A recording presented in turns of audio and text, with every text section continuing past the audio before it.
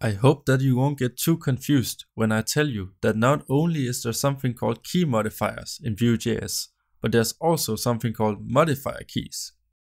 Modifier keys refer to keys such as Control, Shift, Alt, and the Windows or Command keys on Mac. With modifier keys, we can trigger an event listener only when one of these keys are pressed. Modifier keys are not limited to being used in conjunction with keyboard events, as we will see in this lecture. First, let's use the key up event on a text input as we did before, this time with the shift and enter modifiers. So I'll just add the key up event once again. I'll say dot shift, which is the modifier key, and dot enter, which is the key modifier. And I already added an event listener named my listener so I'll just add that as the expression. So now my simple event listener is only invoked if I press the shift and enter key simultaneously with the text input in focus. So let's test that out.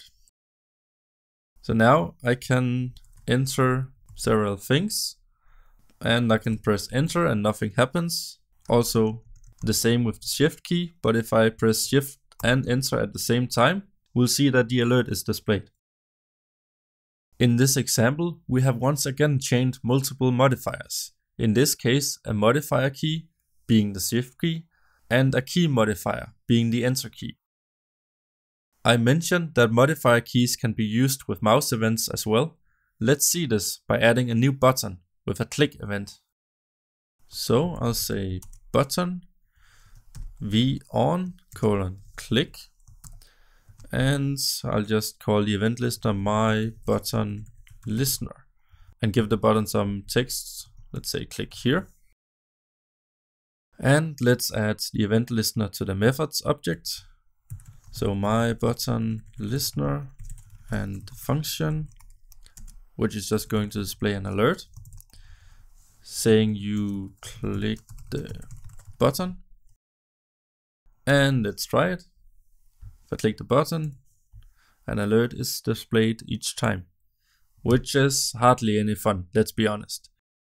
But if I use the shift modifier key though, the event listener will only be executed if I click the button while simultaneously holding down the shift key on my keyboard.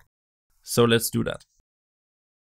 So I'll say dot shift after the click event name. And let's test that out if I click the button normally, nothing really happens. But if I do that while holding down the shift key, we now see the alert. The last modifier key I want to mention is one named meta.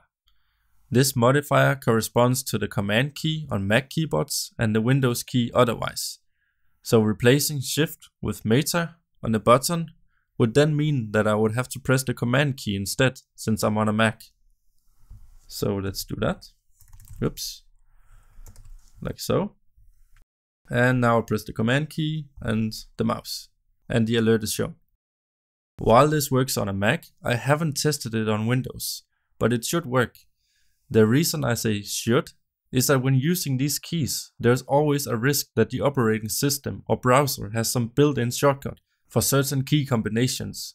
So if you do want to use the meta modifier key, then be sure to test it out and be aware of any possible collisions with other operating system or application level shortcuts.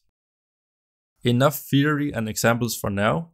Let's use what we have just learned in practice by doing a few exercises.